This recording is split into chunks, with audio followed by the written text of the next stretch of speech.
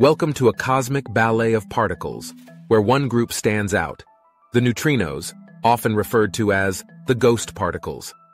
These elementary particles, belonging to the lepton class, possess half-integral spin and are indivisible themselves. Unlike other building blocks of matter, neutrinos play a vital role in the cosmic play, despite their subtle presence. Neutrinos come in three types, electron neutrino, tau neutrino, and muon neutrino, linked to fundamental particles, electron, muon, and tau, respectively. What sets neutrinos apart is their electrically neutral nature, rendering them undetectable by even the strongest magnets. Their almost negligible mass makes them elusive to interactions with regular matter, allowing them to glide straight through stars, planets, and even our bodies. Around 100 billion neutrinos pass through each square centimeter of your body every second, earning them the nickname ghost particles. Neutrinos arise from various nuclear processes in both natural and artificial settings. Common occurrences leading to neutrino generation include high-energy reactions involving protons and atomic nuclei, which can be artificially induced in nuclear reactors, nuclear bombs, or particle accelerators. Astrophysically, neutrinos can emerge from nuclear reactions in the cores of stars, with the majority detected on Earth originating from nuclear reactions within the Sun.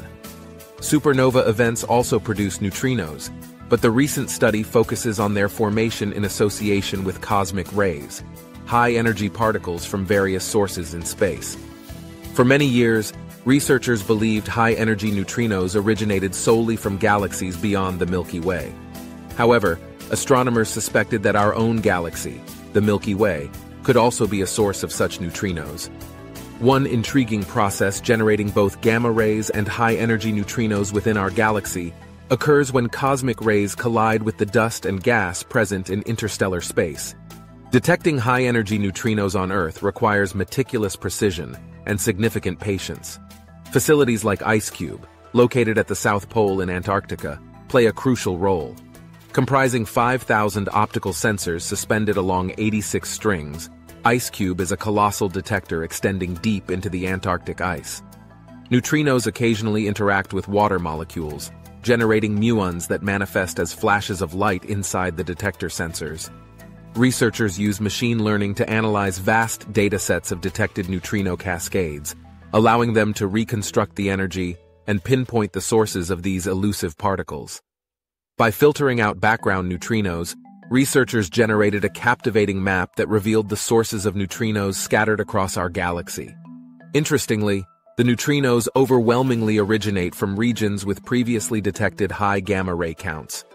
This discovery, though just below the conventional 5 sigma threshold for high confidence, provides compelling evidence that the Milky Way serves as a source of high-energy neutrinos.